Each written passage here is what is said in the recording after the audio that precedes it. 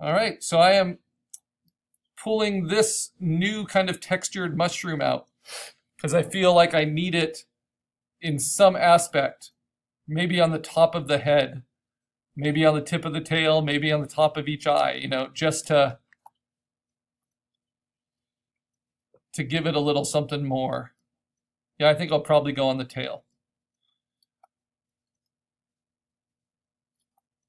So I try not to zoom in more than 200%.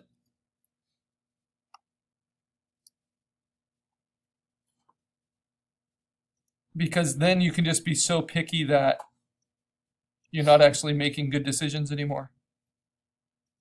You're just um, losing time. So do be mindful of how much you're zoomed in on something. And obviously, it's easier to cut out something that's large than something that's small. But also, don't let yourself just try to make everything perfect if it doesn't actually matter to the end product.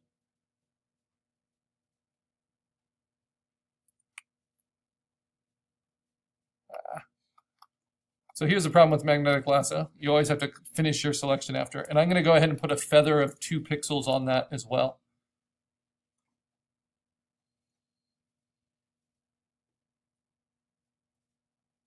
And if it misses a slight curve, I'm going to just let it set its curve. Because the magnetic lasso works much better on these kind of curvy organic surfaces than it does on something like uh, skyscrapers at the edge of a horizon, which has lots of sharp turns.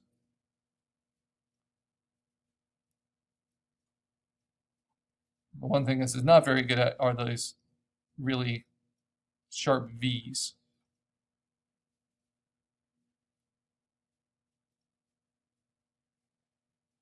But then once I get enough,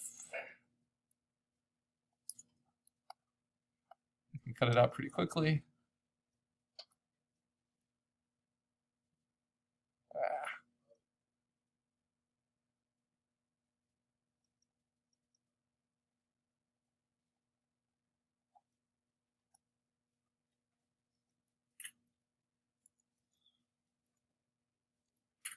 All right, I'm going to go back to the quick selection.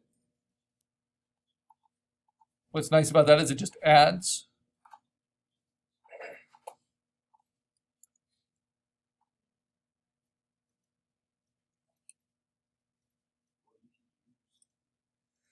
And I'm going to go ahead and just let it add, let it add, let it add. And then I can hold down minus and subtract from it if it makes a mistake. Now the problem with the quick selection tool is it always leaves a little bit of a debris behind. A little ghost trail that needs to be cleaned up.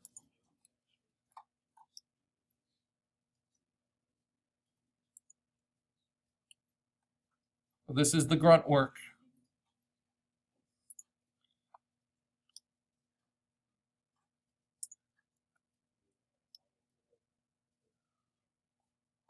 If if we were working in a um, at like Industrial Lights and Magic, and we are compositing a scene for for the next Star Wars movies, for instance, the the lowest ranking digital artist in the studio would have to do all the masking. So they would they would break up the components of like the spaceships on the green screens and stuff, and they would create layer masks for them, which are basically stencils that have the selection in them nice and clean, like a vector. So all this careful selecting has to be done at some point by someone. It's just we're doing it all ourselves. But it also shows how important the skills are.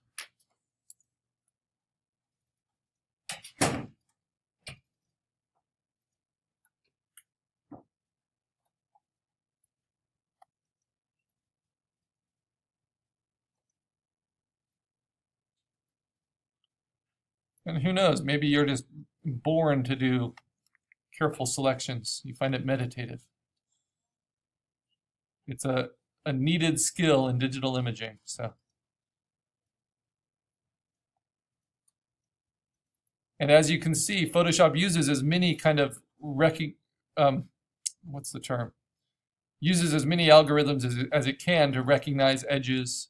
It's always trying to improve them, but it still is always going to take the individual artist to make these fine adjustments when it comes to refining the work for high resolution output, whether that's a movie or whatever else. All right, so let's take it like this. I'll show you how we can clean up everything else in one step a little bit later. So I know I'm leaving some debris around still, but that's definitely going to give me the impression I want. So now, how do I want to use it on the tail? I want it to be kind of like this, this decoy lure. So I'm using the stem of the mushroom for the tail, and the cap of the mushroom is kind of the, the showpiece of this.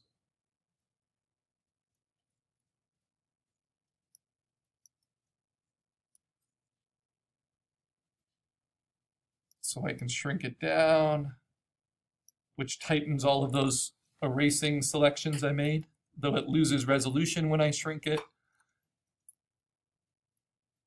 Yeah, I think that's, it's like the false head. That's what I'm looking for. So about that size. And this gives me some interesting textures to have to blend in, which is something I want to show you in refining. So I'm just going to take out these big chunks.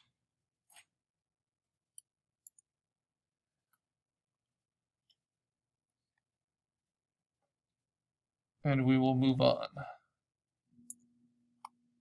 Okay, so more cleaning up edges. Now I can turn off, well, I can put the, the tails together, right?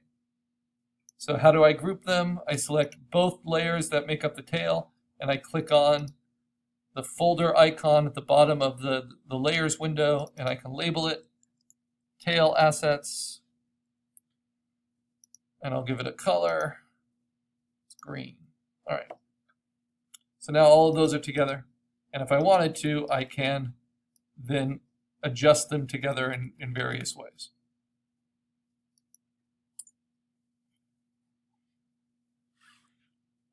I can even, let's see, distort.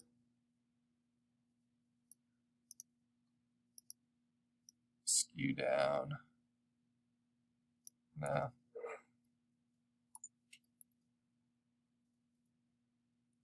Yeah, I think that helps just a little bit. Okay, now I have the strong color. I have all these things. I need to clean up the legs so I can turn off a lot of the other stuff. I'll just keep that on and the legs on. And now I'm going to go to auto select by layer instead of group. Actually, yeah, I don't need much. So first I'm going to select from the background here. I'm going to go ahead and use the regular lasso tool with a two pixel feather. And I'm not even zoomed in. I'm actually zoomed out a little bit. But here I can kind of carve and make my own shapes for that, that forearm. Because the head is well in front of that leg, I don't need to cut out more than that. Now if I use the move tool, I can click on, on this one. And here's a good example of where I might make my own edges. And because this, the edges of this are soft focused, by creating my own edges with just a two pixel feather, it will make everything seem sharper. But even the bottom of the feet, I need to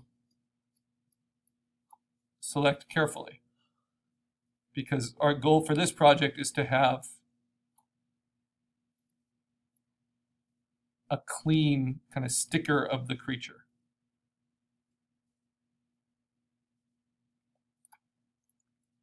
So we need all the edges to be really considered.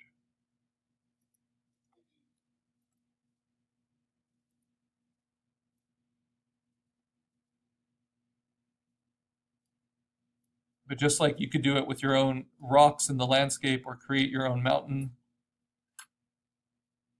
feel free to kind of cut into your reference and find your own shapes. We are not a slave to the reference.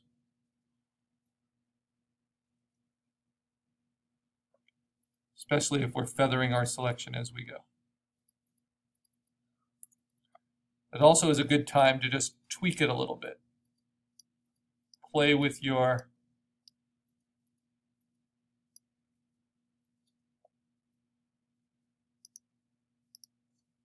your settings. You're transforming. You can warp.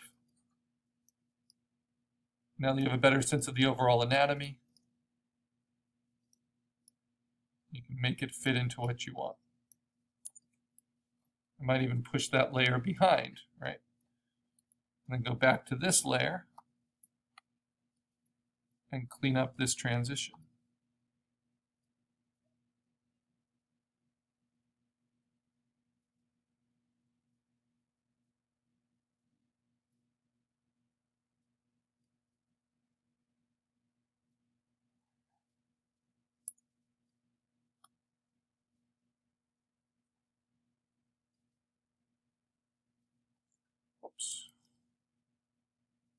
Find my own edge.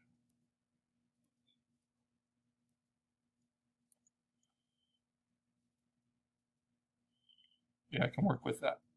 So that gives me a way of, of approaching the rest.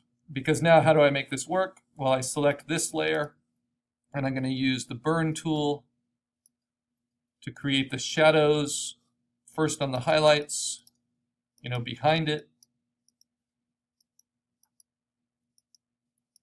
Again, at an exposure of less than 20, it's such a strong tool. And then on the underside of it, so it really looks like it's a foot. And then to the midtones at the base of it. And then I go to this layer. I'm going to burn the highlight because it's underneath the body.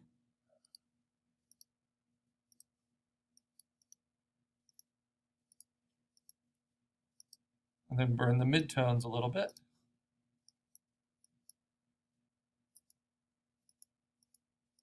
So it really looks underneath the body. And a shortcut to get back to the move tool is just hold down command. And that will help you select your layers. And then if I need to, I'm going to desaturate using the sponge tool.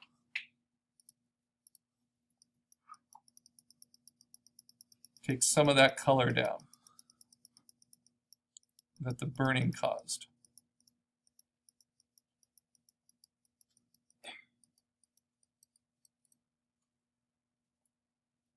All right, so I've got my first foot And now, armed with that knowledge, I can go in to the rest and just not even really zoomed in, not zoomed in at all.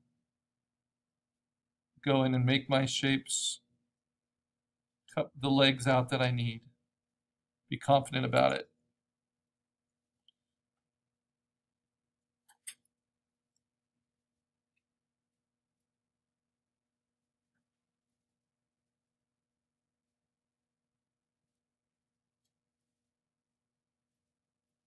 Actually.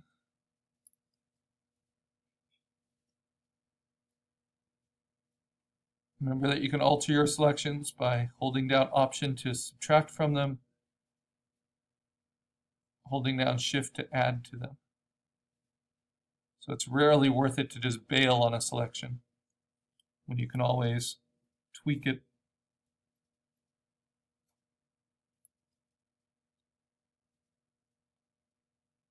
using Shift and Option.